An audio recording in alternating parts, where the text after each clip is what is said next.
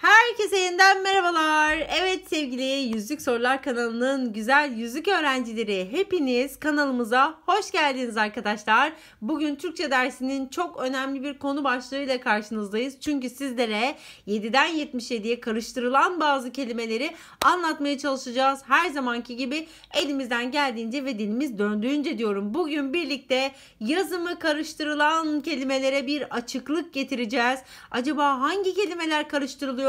Neden bu kadar çok karıştırılıyor? Bu kelimelerin doğru yazılımları hangileri diye bu noktaları izah edeceğiz. Hep beraber hazırsak hemen başlayalım diyorum. İlk sayfada karşımıza çıkacak olan bazı örnekleri gördüğünüz gibi günlük hayatımızda sık sık hemen hepimizin yapmış olduğu hatalar var. Gerek mesajlaşırken gerek konuşurken muhakkak görüyoruz, yapıyoruz böyle hataları. Ya da işte e, aramızda hiç hata yapmayanlar varsa yapanlara böyle çok sinir olabilirler. Bu sebeple ne yapıyoruz? Sinir olmuyoruz arkadaşlar. Karşımızdaki arkadaşımızı uyarıyoruz ve kelimelerin doğrusunu onlara gösteriyoruz. Hatta kanalımızın linkini paylaşıyoruz ve diyoruz ki hadi bakalım arkadaşım aç şu kanalda şu videoyu bir dinle ve bu konuların olması gereken şekilde öğrenilmesine gayret göster diyorum. Hemen başlıyorum o zaman. Ait kelimesi ait şeklinde y ile değil ait şeklinde kullanılır. Yani bu kitap bana ait. Bu kanal sizlere ait şeklinde konuşabiliyoruz değil mi? Bir nesnenin birine ait olmasından bahsederken. Böyle, böyle böyle öğreneceğiz değil de sevgili arkadaşlar. Doğrusunu sizler böyle böyle öğreneceksiniz.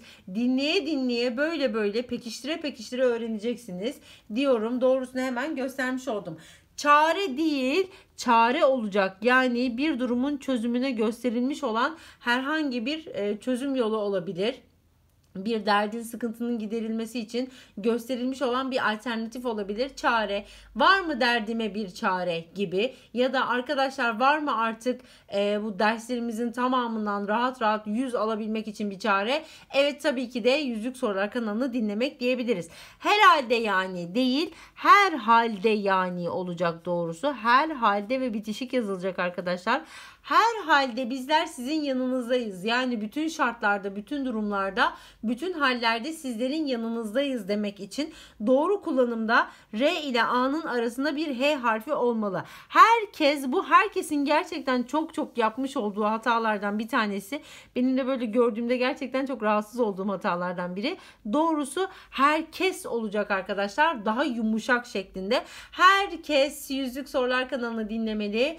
Her halde sizlerin yanında yanınızdayız diyebiliriz arkadaşlar. Evet kelimenin doğrusu konservatuar değil konservatuvar olacak arkadaşlar. Hemen yazalım. Konservatuvar şeklinde olacak. Çünkü aynı şekilde laboratuvar kelimesinin doğrusu da laboratuvar şeklinde olacak arkadaşlar laboratuvar şeklinde olacak. Bu da V ile yazılıyor. Ve son olarak piyanist değil piyanist şeklinde yazılmalı. Bu arada bu isimle bir film de vardı. Var mı aranızda bu filmi seyredenler? Haydi bakalım. Bugünün ilk gülümseten sorusu gelmiş olsun. Piyanist filmini izleyenler var mı? Ne düşünüyorsunuz hakkında diyorum. Bunun dışında sizlerden bize sadece bir tane yazımı karıştırılan kelime yazmanızı, yanlış ve doğru haliyle yorumları bırakmanızı istiyorum sevgili arkadaşlar. Bakalım kimler hangi tarz kelimeleri yanlış yaptığının farkında ve bunların doğrularını araştırmak ya da öğrenmek için bir gayete girmiş. Bu arada bu çizimi çok beğendim. Çok güzel iki tane kitap örneği olmuş. Çizen öğretmenimizin de eline sağlık diyelim buradan. Hemen devam edelim. Diğer kelimelerde burada yine sık sık günlük hayatta da karşımıza çıkan ve yazımı karıştırdığımız kelimelerle devam ediyoruz. Bunlardan ilki bazen evet bazen söylerken de çok tuhaf oluyor gerçekten. Ama kelimenin doğrusu arkadaşlarım bazen olmalıydı. Bazen yüzlük sorular matematik dinliyorum. Bazen yüzlük sorular İngilizce dinliyorum. Bazen de yüzlük sorular Türkçe derslerinin tekrarlarını yapıyorum diyebiliriz. Evet kelimenin doğrusu orijinal değil. Evet bu gerçekten sıkça çoğu öğrencimizin yapmış olduğu hatalardan bir tanesi. Doğrusu orijinal olacaktı arkadaşlar. Yani kopyası olmayan mükemmel ilk hali. Evet seyahat değil seyahat olacaktı. Seyahatleri severiz, seyahatler yapmak isteriz. İnşallah seyahat yasağı kalkınca hep birlikte güzel güzel yerlere gidip göreceğiz. Hemen bir sormuş olayım o zaman. Bizleri nerelerden izliyorsunuz? Hadi bakalım. Nerelerden dinliyorsunuz? Nerelerden izliyorsunuz bu güzel kanalı? Bizlere yazın bakalım merak ediyorum. Kimler nerelerde? Diğeri soğan demiş. Evet bu enteresan gelir bana da gerçekten ama bu şekilde bir kullanım söz konusu maalesef. Özellikle e, şive şey e, söz konusu olduğu zaman ya da mesela bazı şehirlerimizin bazı bölgelerinde bir ağız şive durumu olduğu zaman bu tarz kullanımlar karşımıza çıkabiliyor. Kelimenin doğrusu soğan değil soğan olacak elbette. Yalnız ve yanlış kelimeleri çok sıkça karıştırılan iki tane kelime. Çünkü bu LN sesleriyle ilgili bir problemimiz var maalesef. Neden? Çünkü yalnız değil yalnız olacaktı. Yani tek başına bir tane sadece gibi düşünebiliriz arkadaşlar. Hemen devamında bakıyorum. Yanlış olacaktı. Yanlış kelimesi de biliyorsunuz doğru kelimesinin zıttı olarak çıkıyor karşımıza. Bu LN sesleri sesleriyle ilgili olan e, karıştırma şuradaki iki kelime de çok sık çıkıyor karşımıza. Ama eminim artık bu aşamadan sonra bu kanalda bu videoyu dinleyen öğrencilerin hiçbiri bu tarz hatalara düşmeyecektir diyorum. O halde sizler tarafından çokça beğenilen bir formatımız vardı değil mi arkadaşlar? Dur dur çöz. Ne yapıyorduk biz bu formatta? İlk defa dinleyen arkadaşlar için anlatalım. Ben soruyu okuyorum, biraz bekliyorum ve sizler o arada durdurup çözüyorsunuz. Hemen akabinde çözümünüzü benim sonucumla karşılaştırıyorsunuz ve diyorsunuz ki yaşasın öğretmenim ben bu soruyu durdurdum ve doğru bir şekilde çözdüm. Haydi bakalım başlayalım. Aşağıdaki cümlelerin hangisinde yazımı yanlış yapılmış sözcük kullanılmamıştır dedi. Durdur, çöz bakalım. Evet hemen bizler de bakalım o zaman birlikte. Yanlış olanları da bulalım. Olmayanı da hemen ortaya çıkaralım.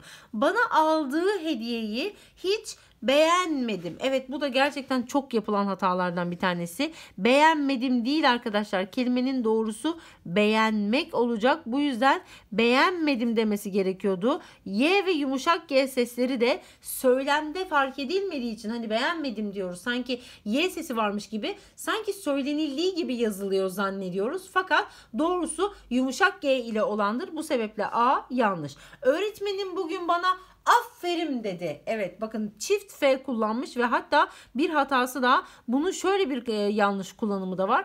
Aferin dedi diyor mesela. Yani sonuna M harfi koyuyor. Bunların ikisi de yanlış sevgili arkadaşlarım.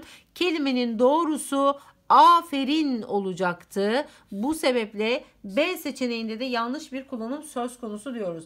Anneme pembe güller aldım. Evet bazen öğrenciler buna pembe güller diyor. Fakat biliyorsunuz ki biz Türkçe'de N ve B sesleri yan yana gelirse NB sesleri şöyle bir dudak e, kapanması dolayısıyla M sesine dönüşebiliyor değil mi? Mesela Çarşamba demiyoruz da çarşamba diyoruz. Perşembe demiyoruz da perşembe diyoruz. Ya da pembe demiyoruz da pembe diyoruz.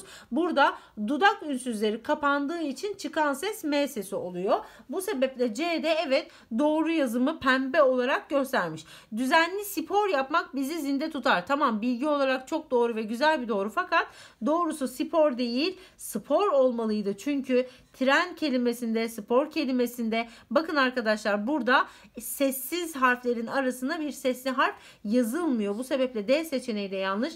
Durdurup da durdurup da cevabına C diyenler doğru demiş oluyorlar diyorum hemen doğru bilgisini vermiş oldum. Buradan o arkadaşlara hatta ne yapalım şöyle güzel güzel alkışlayalım doğru bir şekilde çözdükleri için. O halde birkaç bilgi daha verelim sevgili arkadaşlar. Eğer bazı birleşik sözcükler birleşerek yeni bir sözcük meydana getiren iki tane sözcük kendi anlamlarının dışında kullanılırlarsa o zaman bu sözcükler bitişik yazılır. Anlam kaybına uğrarlar, uğrarlarsa hatta onu nereye yazalım şuraya yazalım mesela.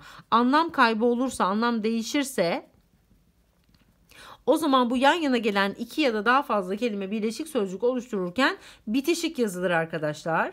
Eğer ki anlamını korur, anlamı değişmezse, bir tamlayan oluşturabilirse mesela, anlamı değişmezse, anlamını korursa o zaman da e, ayrı ayrı yazılırlar arkadaşlar. Bu sebeple Ağustos böceği gerçekten bir böcektir ve yoğunlukla Ağustos ayında gördüğümüz sıcaklarda gördüğümüz bir böcek olduğu için bu kelimenin doğrusu ayrı ayrı yazılmasıyla elde edilecek olan bir birleşik kelimedir diyorum. Hemen devamında yine yurdumuzun içinde veya yurdumuzun dışında e, seyahatler yaptığımız zaman gerçekten yurt sınırları içerisinde ya da yurt sınırları dışarısında kaldığımız için anlamına uygun kullandığımız için yine ayrı yazıyoruz. Hafta pazartesiden cumaya, haftanın sonu cuma ve cumartesi. Bu durumda gerçekten haftanın son gününün pazar olması da anlamına uygun bir şekilde kullanıma e, örnek gösterilebilir. Bu sebeple yine dediğim gibi hafta içi, hafta sonu, yurt içi, yurt dışı bunların tamamı sevgili arkadaşlar ayrı yazılacak kelimeler. Bir saatin çalar olması ve bizi bu şekilde alarm kurarak uyandırması yahut hepinizin alarmlarınızı ve bildirimlerinizi açarak Yüzük Sorular kanalınızı dinlemeniz tamamıyla çalar saat kelimesinin anlamına uygun bir kullanımdadır. Bu sebeple sevgili arkadaşlarım bunu da ayrı yazıyoruz. Yine köpek balığı, ve yine demir yolu gerçekten demirden yapılmış bir yol ve gerçekten de trenin üzerinden geçmiş olduğu yol. Ya da işte hava yolunu tercih etmek hava taşıtlarını tercih etmekten geçeceği için ve havadan gideceği için bu taşıtlar hepsi tamamıyla anlamına uygun olarak kullanıldıkları için bu kelimelerin hepsi ve buna benzer anlam kaybı yaşanmayan kelimelerin hepsi ayrı yazılır sevgili arkadaşlar. Evet umarım açıklayıcı olmuştur ve bu noktadan sonra sizler artık yazımı karıştırılan sözcüklerin hiçbirinin gerek yazımını gerek de okunuşunu karıştırmayacaksınızdır diye düşünüyorum. O halde haydi bakalım bir durdur çöz sorusu daha gelsin. Aşağıdaki cümlelerin hangisinde yazım yanlışı yapılmıştır dedi. Hangisinde yazım yanlışı yapılmıştır dedi. Hemen bakalım yapılmayanları şöyle bulmaya çalışalım. Salgın nedeniyle yurt dışına çıkışlar durduruldu. Bu arada sevgili arkadaşlar sizler de ne yapıyorsunuz? Durdur, çöz bakalım. Evet hemen tekrar okuyalım.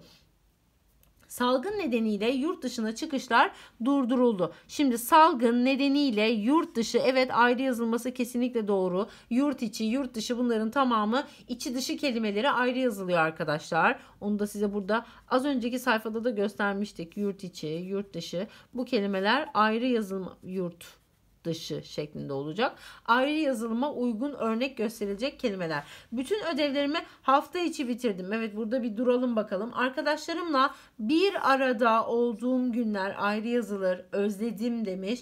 Buralara ara sıra uğrardı doğru. Hafta içinin doğru yazılımının içi kelimesinin ayrı yazılmasıyla mümkün olacağını hemen söyleyip cevabımıza B seçeneği diyebiliriz benim sevgili arkadaşlarım. Evet konu anlatımımızın ve örnek soru çözümümüzün sonuna geldik diyorum. Beni dinlediğiniz için hepinize çok teşekkür ediyorum ve bir teşekkür de tabii ki Yozgat Mehmet Akif Ersoy Ortaokulu öğrencilerine ve tabii ki de sevgili Hasan Tahsin İlköğretim Okulu öğrencilerine de hatta ne yapalım burada çok güzel bir soru soralım sizlere. Sevgili arkadaşlarım Hasan Tahsin kimdir bilen var mı? Çok merak ediyorum gerçekten. Hasan Tahsin'in kim olduğunu bilen var mı? Tabii ki Mehmet Akif Ersoy'u hepimiz biliyoruz değil mi? İstiklal Marşımızın şairidir kendisi. Gerçekten milli şairimizdir. Ama Hasan Tahsin de gerçekten çok önemli bir karakter. Bakalım Hasan Tahsin'i kimler tanıyor? Tekrar Hasan Tahsin İlköğretim Okulu'na buradan kocaman sevgiler ve selamlar gösteriyoruz, gönderiyoruz diyorum.